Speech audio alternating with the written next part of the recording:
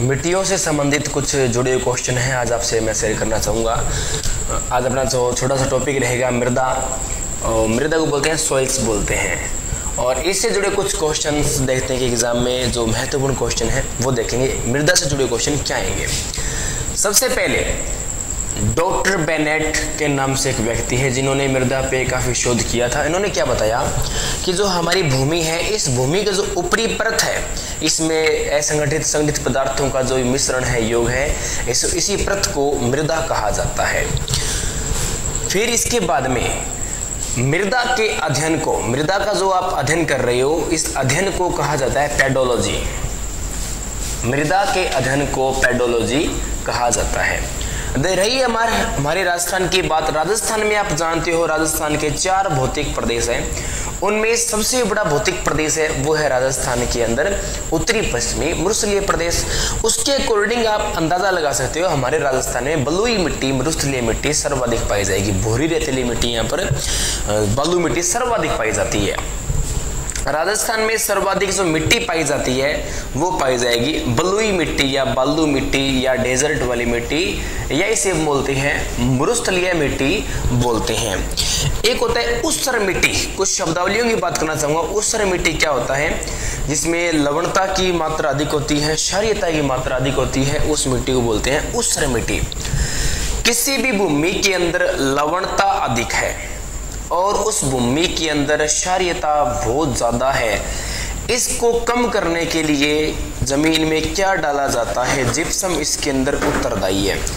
Gypsum लवणता व क्षारियता को कम करने में पूर्ण रूप से उत्तरदायी रहता है। जिप्सम एक प्रकार का खनिज है। फिर और बात करें। देखो, खारी मिट्टी का प्रदेश हमारे राजस्थान में बता दूँ मैं, आपने पढ़ा होगा ज्योग्राफी में नेहड़ भूमि। क्या होता है नेहड़ भूमि? देखो नैण भूमि की यदि अपने बात कर ली जाए तो प्रमुख रूप से एक स्थान आता है बालोत्रा। बालोत्रा, बाड़मेर, और बालोत्रा, बाड़मेर साथ में आता है, एक सांचोर, और सांचोर कहाँ आएगा? जालोर के अंदर आएगा। इस प्रकार से ये नेट भूमि का यहाँ इतना खारापन, इतना ज़्यादा भूमि में लवणता है कि जो नदी बहती है, उस नदी का पानी ही सारा क्या हो जाता है? खारा हो जाता है। ये स्नेहड़ भूमि की सबसे बड़ी विशेषता रहती है। और मैं आपसे बात करना चाहूँ, मिट्टी से जुड़ी बात है, एक होता है अपर्दन होता है। देखो, अपर्दन दो प्रकार से हैं। एक होता है वायु अपर्दन होता है और एक होता है अवनाली का अपर्दन होता है। अवनाली का अपर्दन नदियों के अंदर होता है, जैसे चंबल नदी राजस्थान में सर्वाधिक अवनालिका अपर्दन करती है। वायु अपर्दन मरुस्थलीय प्रदेश के अंदर सर्वाधिक होता है। अब हमारे राजस्थान में समथिंग उन्नीस पॉइंट समथिंग आता है, लेकिन आप ध्यान रखो, बीस परसेंट राजस्थान के अंदर कैसी मिट्टी है? यहाँ पर बिल्कुल अनुपजाऊ मिट्टी राजस्थान में पाई जाती है। राजस्थान की सर्वाधिक व्यर्थ भूमि वाला जिला मतलब हमारे राजस्थान के अंदर सर्वाधिक जो व्यर्थ भूमि है, वो व्यर्थ भूमि है जैसलमेर ज़िले की। राजस्थान के अंदर सर्वाधिक व्यर्थ भूमि की ज़िले की मानी जाती है, जैसलमेर ज़िले की मानी जाएगी। राजस्थान के अंदर सर्वाधिक पठारी भूमि किस क्षेत्र की मानी जाती है तो वो आ जाएगी, राजसमंद के बारे में आ जाएगी। अच्छा मैं आपसे कुछ नई बातें आपसे शेयर करना चाहूँगा। राजस्थान के अंदर मिट्टी की, मिट्टी को अमेरिकन जो वर्गीकरण किया गया है, रासायनिक तत्वों के आधार पे इन्हें पाँच भागों के अंदर बांटा गया है।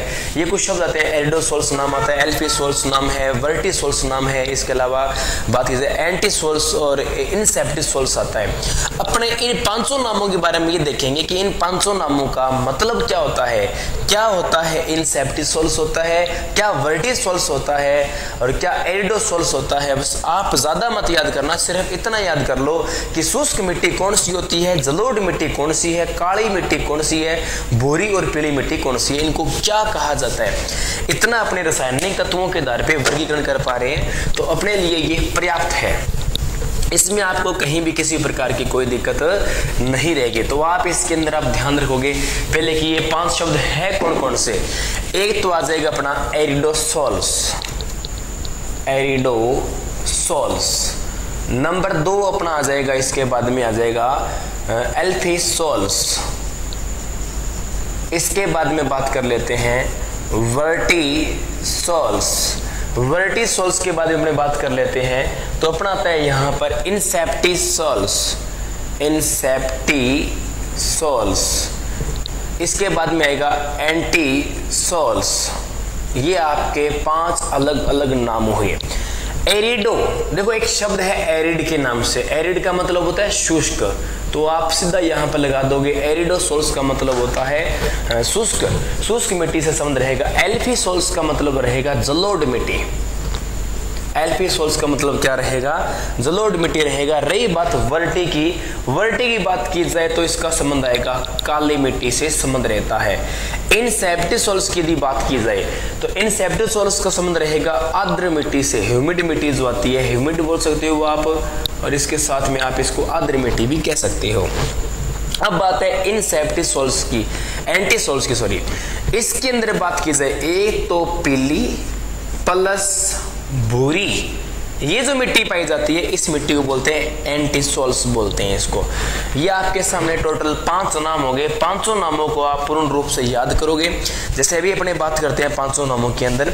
सबसे पहले आया एरिडोसोल्स एरिड बोलते हैं शुष्क को, अपने केवल बोलते हैं एरिड रीजन बोलते हैं, शुष्क प्रदेश बोलते हैं। तो उस प्रकार से एरिडोसोल्स आता है। तो उसका, इसका संबंध रहेगा, शुष्क मिट्टी से रहेगा एल्फी सोल्स का संबंध रहेगा जलोड मिट्टी से, और वर्टी सोल्स का संबंध रहेगा, काली मिट्टी से इन सोल्स का संबंध रहेगा आद्र या ह्यूमिड मिट्टी से रहेगा, फिर आएगा एंटीसोल्स रहेगा, वो पीली और भूरी मिट्टी से इसका संबंध रहेगा। फिर हमारे राजस्थान के अंदर दो संस्थान है, इनके बारे में आप ध्यान दोगे। एक संस्थान का नाम है काजरी, दूसरे संस्थान का नाम है आफरी। दोनों के बारे में बात करें, इसकी स्थापना तो हुई थी उन्नीस सौ उनसठ के अंदर, इसकी स्थापना 1988 के अंदर हुई थी। जो काजरी संस्थान है, ये हमारे मरुस्थलीय जीवों पे शोध करता है। मरुस्थलीय जो होने वाली मिट्टी की प्रसार प्रसार की जो समस्याएँ हैं, मिट्टी में होने वाली समस्या इन पे शोध करता है। ये सारा कार्य काजरी का होता है। दोनों संस्थाओं का जो संस्थान आता है, मुख्य रूप से मुख्यालय आता है, वो कहाँ आता है? जोधपुर के अंदर आता है। आपके लिए वेरी वेरी इंपॉर्टेंट है आफरी। आफरी की यदि बात करें तो इसकी फुल फॉर्म क्या बनेगी? आफेरी। इसका मतलब क्या होता है?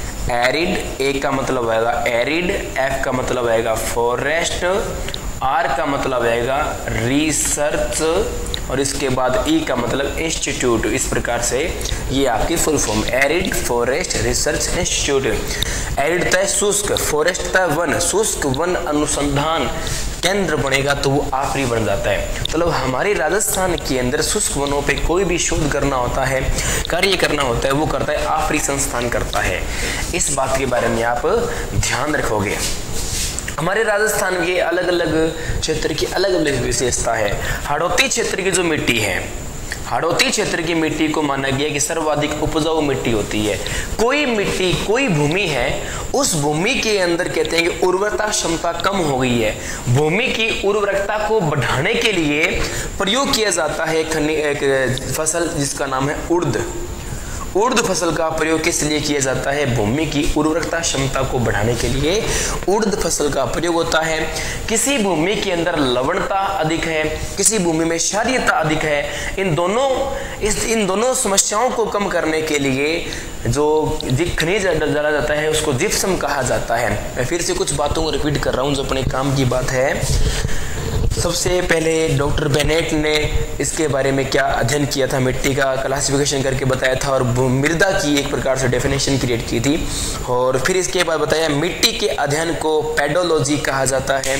हमारे राजस्थान में सर्वाधिक व्यर्थ भूमि जो आती है, व्यर्थ मिट्टी जो आती है, बंजर भूमि, जैसलमेर ज़िले की आती है। राजस्थान में सर्वाधिक सिंचाई भूमि वाली जो एरिया मिट्टी आती है, वो हमारे गंगानगर क्षेत्र के अंदर आती है। किस मिट्टी में सर्वाधिक उपजाऊपन की क्षमता अधिक रहती है? हड़ौती प्रदेश की मिट्टी है, जो काली रेगुड़ मिट्टी कहलाती है। मालवा, पठार और इनका थोड़ा अवशेष यहाँ इस क्षेत्र में पाया जाता है। तो इस प्रकार से इस क्षेत्र की मिट्टी में सर्वाधिक उपजाऊपनता ज़्यादा होती है। फिर मिट्टी में आपको मैं एक बात और बताता हूँ, शानदार सी बात। मिट्टी में दो विशेषता होती है, छोटे कण की मिट्टी और बड़े कण की मिट्टी के अंदर।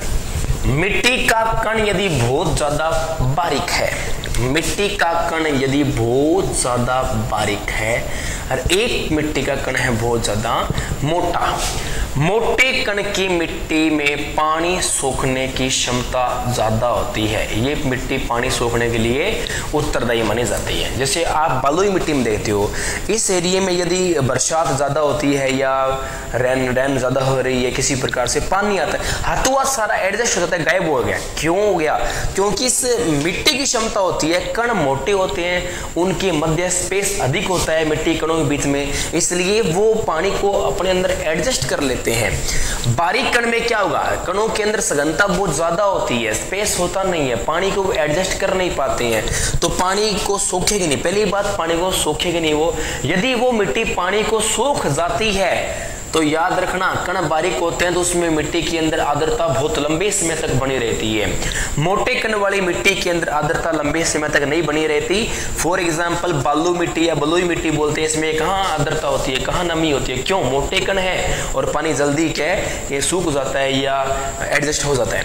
मोटे मोटे कण की बात तो ये थी, बारीक कण में क्या है, या तो पानी अंदर प्रवेश करेगा नहीं, करेगा तो लंबे समय तक अपनी आर्द्रता को बनाए रखेगा। इस प्रकार से विशेषता रखता है ये। ठीक है अरे अच्छा एक होता है बनास नदी। बनास नदी के आसपास कहते हैं भूरी भूरी मिट्टी पाई जाती है ये ये विशेषता आती है। और हमारे राजस्थान के अंदर सिंचाई के लिए सबसे अग्रणी जिला श्री गंगानगर, दूसरा स्थान आ गया हमारा हनुमानगढ़ जिला आ गया। एक बात हो जाती है, देखो, मिट्टी का वर्गीकरण हमारे राजस्थान के अंदर कोई नौ भागों में बांटता है, कोई दस भागों में बांटता है, बलुई मिट्टी, कोई दोमट मिट्टी दोमट मिट्टी मतलब दो मिट्टियों का मिलना, कोई काली रेगुड़ मिट्टी, कोई बलुई मिट्टी, इस प्रकार से वर्गीकरण है, वो अपने नेक्स्ट पार्ट में कर लेंगे तो इसमें आपका इतना ही रहेगा। धन्यवाद।